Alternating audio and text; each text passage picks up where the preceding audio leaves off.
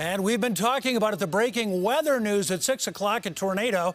Very dramatic one touching down in Weld County. This one touched down just about 5:15.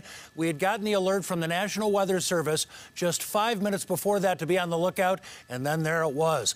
Now the twister first touched down in Frederick, ripped about 14 miles northeast up towards Platteville. Thanks so much. These photos from Heather, who lives in Platteville.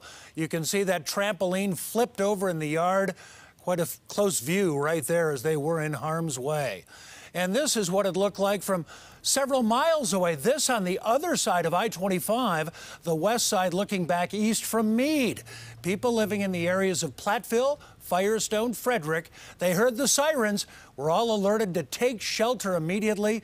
And as Lauren just reported, that alert, the tornado warning it is, did just expire. That tornado so big, it could be seen all the way into Denver. Remember, this was touching down in Weld County, many, many miles to the north.